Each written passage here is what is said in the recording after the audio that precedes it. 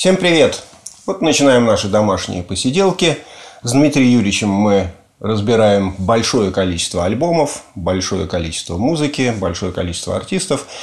А здесь я хочу полистать мою домашнюю коллекцию не спеша, не торопливо и не длинно, на самом деле. Просто коллекция пополняется время от времени, хочется поделиться с вами тем, что пришло в последние дни. Вот пришел такой альбомчик группы Dream Theater, который никого не удивишь, все эту группу знают прекрасно. Группа мощная, сильная, громкая и выпустила огромное количество альбомов. Это последняя пластинка. Я ненавижу слово вот она, вот она такая последняя пластиночка. Ненавижу слово «крайняя», потому что это не по-русски. Вообще я буду говорить так, как принято на нашем родном языке, на русском. Пластинка очень красивая. Как всегда, двойная. Как всегда, с книжечкой. Вот такой замечательной. В книжке много интересного. Много разных красот чудесных. Но я не буду листать. Она большая, довольно такая фотографии артистов, тексты песен, рисунки, фотографии, коллажи и прочее, прочее, прочее. Ну, разворот, сами понимаете, разворот. Разворот разворотный. Пластинка одна, тоже с яблочком, весьма фирменным. Пластинка другая, тоже с яблочками, весьма симпатичными, вот такими. И еще здесь присутствует компакт-дисочек для тех, кто не любит винил, но зачем-то купил виниловую пластинку. Может послушать на компакт-диске. Пластинка, на мой взгляд, совершенно необычная, потому что... Потому что потому. Потому что необычная для группы Dream Theater весьма. Я вообще музыку на стиле не делю никогда. И когда меня спрашивают, Алексей, вы любите тяжелый металл? Я отвечаю всегда, а смотря какие группы, я люблю какие-то конкретные группы, какие-то конкретные пластинки, конкретные песни, а люблю ли я тяжелый металл, я не знаю. Люблю ли я диско? Некоторые песни люблю, некоторые песни не люблю. Люблю ли я фолк? Тоже, знаете ли, фолк такой, фолк секой, фолк разный. И все зависит от конкретного исполнителя. Вот этот альбом, он меня, честно говоря, удивил. И удивил достаточно серьезно, потому что я не могу его отнести ни к тяжелому металлу, ни к э, арт-року, ни к рок-н-роллу, ни к чему. Здесь все вместе, все сразу. И на самом деле это какой-то такой крен группы в э, старый прогрессив рок, образца 70-х, 80-х годов, как мне показалось. Хотя начинается она, пластинка я имею в виду, начинается она весьма традиционно, Alien, первая песня. Тут две песни на первой стороне, две на второй, две на третьей и одна на четвертой. Мы до нее дойдем.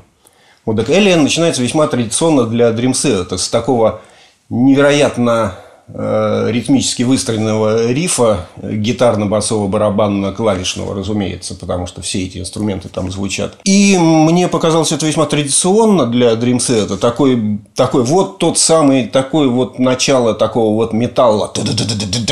Даже я не буду повторять эту ритмическую структуру, потому что я пытался высчитать размер, который играет э, бас с барабанами. У меня ничего не получилось. Я полез в интернет и нашел этот самый размер оказался 17 восьмых, ни больше, ни меньше. Ну, думаю, ну, любят ребята сложности, любят, будем слушать сложности, и станет мне скучно в какой-то момент времени. Не стало, потому что начинается такой прогрессив, начинаются такие какие-то восточные гитарные партии у господина Петруччи невероятно интересные. Начинается смена музыкального пространства из одного в другое, ну, я имею в виду музыкальное пространство, вы понимаете, что это такое, да, из одной вселенной в другую, прямо такой плавный переход, раз голос Лабри здесь, не могу сказать, что стал ниже, он стал как-то плотнее, он уплотнился и стал такой какой-то, если раньше он парил над музыкой, над э, всей, то сейчас он парит, ну, как такой бомбардировщик серьезный, он так то, серьезно так летит, летит, летит. И, в общем, этот самый Alien, это просто произвело на меня сильнейшее впечатление. Следующий номер Answering the Call. напомнил мне неожиданно группу Хоквинд английскую. Тоже начало такое космическое, космическое, космическое, а потом начинается адский моторный гитарно-барабанный такой наезд серьезный. Ну, опять же, с удивительным голосом Лабри, который на этом альбоме мне нравится больше, чем на всех предыдущих вместе взятых. Я не знаю, что случилось с певцом, но он как-то серьезно заматерел, хотя и раньше был вполне себе матерый. Invisible Monster песня еще более удивительная. Если до этого какие-то были кивки в сторону группы Хоквин, то здесь мне вспомнился почему-то, извините за выражение, Юрая Хип. Причем Юрая Хип такой конца 70-х, начала 80-х. Ну, правда, здесь в миллион раз все сложнее, интереснее. Простите меня за Юрая Хип. Там тоже сложно и интересно. Я очень люблю эту группу. Но здесь господа из Dream Theater все-таки студенты Беркли в прошлом. Все-таки умные, умеют все практически. Тут ничего не скажешь. Развернулись по полной. И хотя эта песня Invisible Monster вполне могла бы войти в репертуар Юрая Хип конца 70-х, начала 80-х. И вполне естественно там бы прозвучало на каком-нибудь альбоме этой удивительной английской группы. Sleeping Giant Тут вообще у меня опустились руки, опустились ноги и заболела голова от счастья, потому что я стал слышать какие-то такие мотивы э, Genesis образца 74-75 года. Правда, усиленные, ускоренные, мощнее в тысячу раз, и количество нот э, увеличено раз в тысячу примерно чем у Genesis. Но структура, подход к этому самому Sleeping Giant, концепция, вся, вся, все вот построение песни, оно прямо вот оттуда, прямо из 70-х. Удивительно. Ну, звучит очень современно, очень круто. Но, э, кстати, чудеса на этом не заканчиваются, потому что Transcendental Time, Transcendental Time – это вообще улет. Это улет совершенный, потому что Dream Theater не похоже ни на Yes, ни на Rush, ни на Uriah Heep, но тем не менее начинается Transcendental Time как мощный, современный, заматеревший Yes. И я просто обалдел, потому что здравствуйте, это Yes или это Dream Theater. Оказалось Dream Theater, потому что через несколько секунд буквально все стало на свои места, и я понял, что это, конечно, Dream Theater, но, но очень похоже на Yes. А потом бац, и стало похоже на Rush почему-то. То есть не похоже совсем на раш и не похоже совсем на ес. Но структура, подход, приемы композиторские, интонации прямо вот оттуда. Прямо такая энциклопедия прогрессивного рока 70-х пошла. Песня замечательная при этом. Awaken the Master. Это уже классика Dream Theater. Это те, кто собирает пластинки этой группы и любит ее, здесь получат истинное наслаждение. И а, кстати говоря, я вот что хотел сказать, что я перед тем, как послушать эту пластинку, прочитал много рецензий в интернете от фанатов группы Dream Theater. И все они разгромные. Все пишут, любители тяжелого металла, что ну, в этом альбоме вообще ничего не понятно. А я не знаю, что тут непонятного. Это прекрасная музыка. Это удивительная совершенно музыка. И заглавная песня который называется так же, как и альбом A View from the Top of the World. Вид с вершины мира. Это просто классика, и это полотно я бы поставил, наверное, в, э, ну, не в десятку и не в двадцатку, но в 50 лучших произведений так называемого прогрессивного рока. Потому что это совершенно фантастическая вещь, она на всю сторону, она длится около 20 минут, я не помню точный хронометраж. Ну, это полный кайф. Здесь есть все. Здесь есть... Ну, у Theater есть всегда и смена темпа, и смена ритма, и смена тональности, и, и, и ломаная структура, и сложнейшие размеры. Здесь есть все, но это, эта песня 20-минутная, так же, как и вся пластинка, она удивительно легко воспринимается, удивительно легко слушается. При этом она сложнейшая. Она напоминает, ну, наверное, симфоническую, современную симфоническую музыку там, 20 века, Холста там, и, и, и прочее, и прочее, и прочее.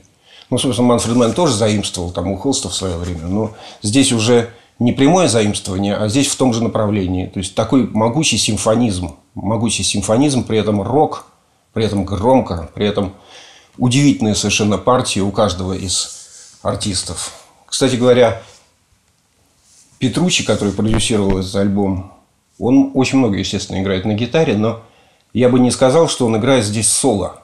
Потому что соло – это что такое? Это когда один артист солирует, да, а все остальные создают такой фон для солирующего артиста. А здесь же Петручи играет очень много, очень круто. И, и тэппинг там, и все дела его любимые. Но все играют вместе с ним одновременно. И это такая полифония, полиритмия. Звучит оркестр, где все играют конкретные свои партии и солируют одновременно. Наверное, можно так сказать.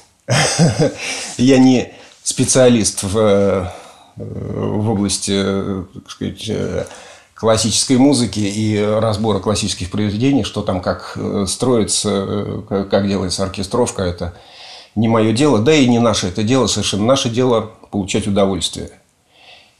И что мне хочется сказать еще в отношении этого альбома, что когда вы его слушаете, напомню, да, как он выглядит, когда вы его слушаете, не стоит, наверное, представлять себе музыкантов вместе с инструментами. Не стоит рисовать в сознании картины, как вот здесь играет гитарист, как он играет тэппинг, какой у него инструмент, какая цепочка обработок, как все сделано.